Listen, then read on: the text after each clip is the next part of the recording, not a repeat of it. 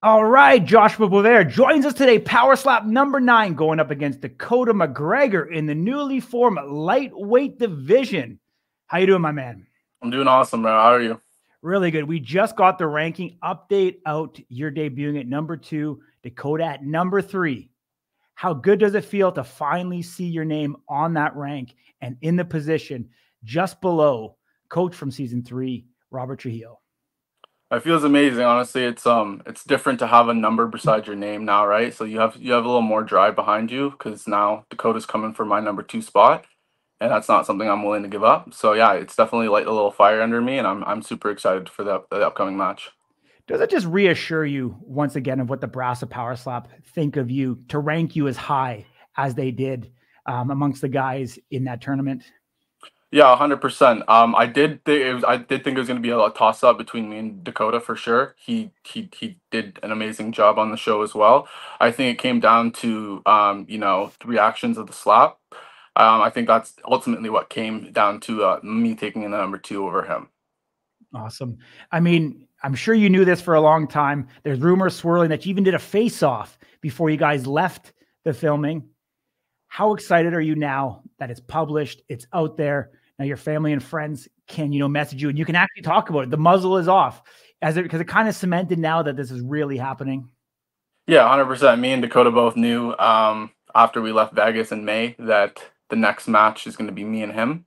Um, so yeah, like we had months to prepare for it, and honestly, yeah, months to you know kind of keep our mouth quiet. But yeah, now it's like it's surreal and it's it's happening, and like you said, the rankings are up. Everything's kind of happening very fast right now, and it's coming together for sure.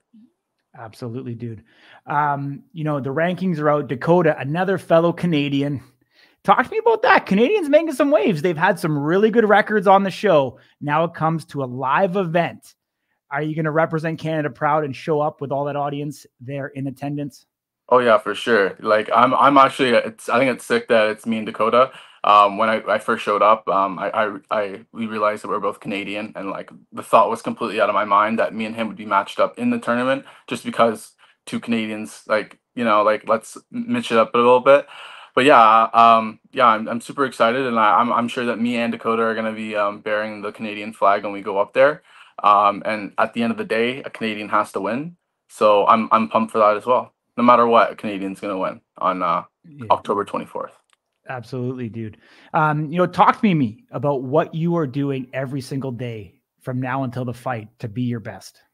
For sure. Yeah. Like, um, like I said, I've had I've had four months to prepare for this this match. Um, I didn't know the date obviously four months ago, but I, I knew I needed to stay ready.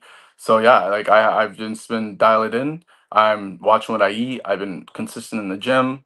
I, I have a bob as well, so I've been uh, practicing on that and yeah, I'm just fine tuning everything. I'm getting ready for October 24th. You know, you're gonna go over to Abu Dhabi. You know, I'm, obviously you've probably never been to that part of the world. I don't know if you even considered it. Have you thought about the time change, the cultural difference, the food, all of that stuff that could ultimately affect the outcome and the performance that you have? Have you, you know, started to wrap your head around mentally about undertaking that? 100% and i think it's perfect that my my opponent's coming from the same place in the world as i am because just like a weight cut, we have to stay, we have to make 155. We're going to be on the same flight. We're going to have the same time difference. So we're all going to have to adapt to that. So it's going to be even between both of us. But 100% that's in the back of my mind. There's so many different things that could happen. You know, got to watch mm-hmm. what you eat there. That's completely different food, right? Um, this, I've never, this is my second time on a plane and it's a 14 hour flight. So I've never, you know, really experienced like jet lag, true jet lag. So that's going to be something that I need to, you know, research and kind of make sure that it doesn't affect me going into the fight week. For sure. How are you sitting on weight right now? Where are you kind of walking around? Uh, right now, I'm sitting at around 164. Uh, so I'm just kind of chilling around here right now. Um, gonna start picking up the cardio a little bit soon, and uh, try to be in a good position going there. I did have a, a pretty rough weight cut in the, the second match, um, it was pretty tough for me. So I don't want to really experience anything like that, especially um, overseas and with all mm-hmm. those other contributing factors. Yeah, I mean, 14 hour flight, you know, people do bloat and retain water when flying as well. So keep that in mind. You know, probably the ideally point for you is probably 160, my man. If you can be on 160 before you get on that flight, you'll be within striking distance. Um, you know, on our show, we talk a lot about weight cuts and power slap and how they can be detrimental. So, I mean, you still got time. I know you're going to do it. You're a true professional. You're going to put in the work, time, energy, and effort to be there and be ready to show up. If uh, Dakota's watching this, what do you want to say to him? I'm number two. You're number three. You're gonna have to prove that you're better than me on October 24th. Short and sweet, my man.